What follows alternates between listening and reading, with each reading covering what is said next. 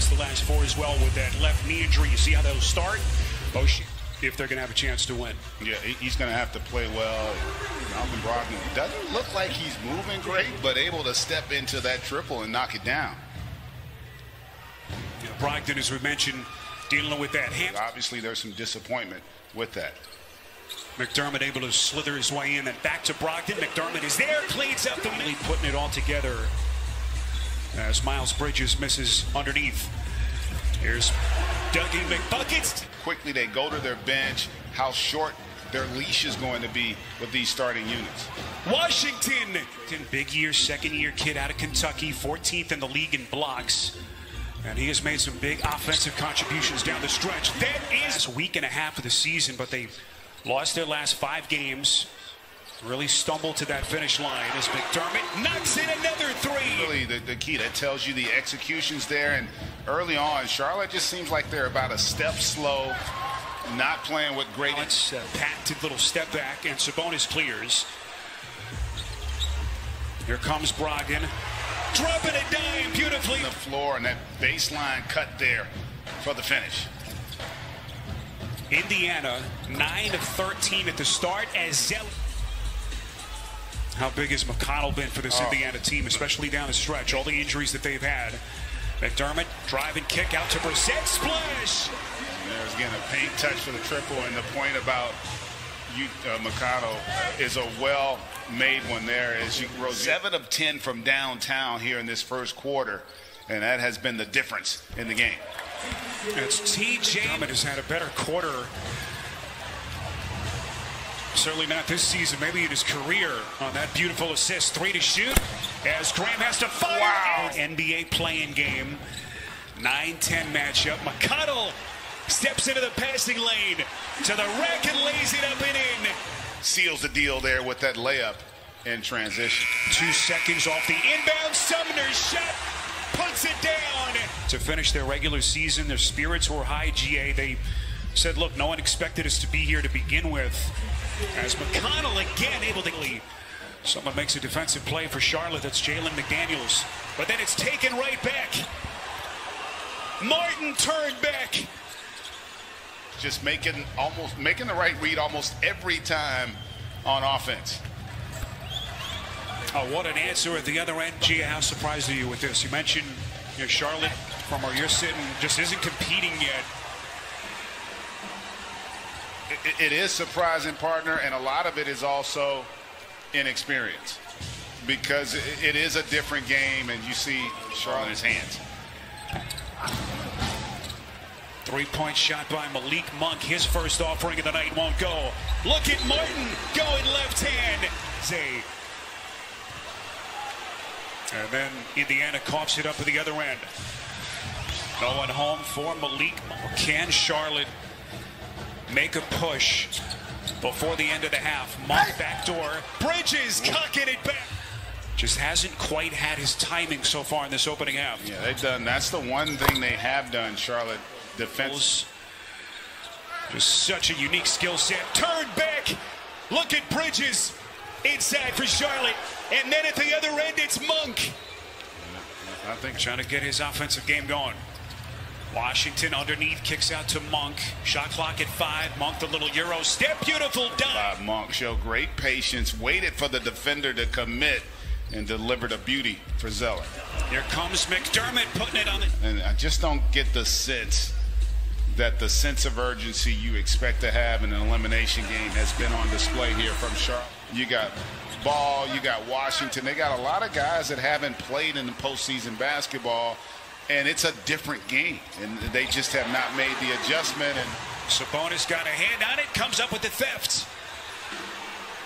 Oh, this was not the close to the half that the Hornets were hoping for. Beautiful pass. Struggled mightily to put the ball in the basket. Brogdon the drive and kick. Justin Holiday from deep. Moving forward without one of their key guys. But so far, they have been dominant against Charlotte, and they pick up where they. Washington, three of seven in the opening half, eight points. Brogdon spots up, bangs. Sabonis again, just one of eight in the first half. He's done a little bit of other things, rebounding. For the tip. You do get Brogdon back, and boy, the Pacers have come out here and just been electric on both ends. Man with a 25-point lead. Here's Sabonis, backs down against Washington, a little lean-in step back, and against the front. That, you know, created their issues in the first half. Youth and experience, maybe one of the reasons that can bring them back. You just don't know any better, GA. Yeah. Well, they, they got older player, Gordon Hayward. They would love to have out on the floor. Here's the steal by Zeller. Well, let's see if they'll count. Sabonis, strong move there for the finish. But that, that was the other thing that was impressive. They had done such a good job on that first half. Here's Zeller. He's been lively in the second half, putting it down. Say that for just about everyone yeah. who's put the uniform on for Indiana. Here's Brissett again from deep. It's target practice. A team that overachieved for so much this season. Sabonis that finished number nine, 34 and 38 on the season. Brissett unable to track it down. Monk steps into a three. Seen stranger things happen, but they're going to have to string some stops together here this last three minutes. Sabonis fit to this. We saw it play out also in, in, in baseball when they did it. Here's Malik Monk, who has been now 5 of 10 in 12 minutes off the bench. Open look at a three, and Indiana. Mine, they were a top six team, and, and I'd have to agree with them. They have had a terrific team season, but this is just both ends. Fourth basket of the night for Miles Bridges. He's got nine points.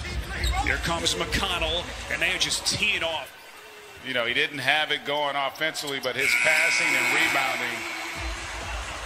And what an exclamation. 13 career triple doubles for Sabonis. One of the more gifted big men we've seen in the league in recent years. What a drive. Another game to be able to advance to the postseason. So, as great as they've been. As Brissett, beautiful little pass by McConnell. All the issues that they've had as LaMelo Ball's three-pointer bounce. And look at that Indiana defense extending about five feet beyond the three-point line. This is, the other thing that's impressive, like literally everyone for the Pacers who's played has played well. As Bridges gets lost in translation there, nice find by Ball for the finish. Bridges to catch that fastball, but we've seen enough from LaMelo in terms of his incredible passing ability there with a nice floater. And he's definitely had a much better finish to the game than he did start. And a key role on some of their playoff teams the last couple of years before coming on over to Indiana. So that free agent deal, a couple of, of that 7-8 matchup. Again, Boston and Washington. That comes your way later tonight right here. And the reports about you know, maybe Nate Bjorkman, uh, Bjorkgren's job security. How about that finish? Just clicking on all cylinders.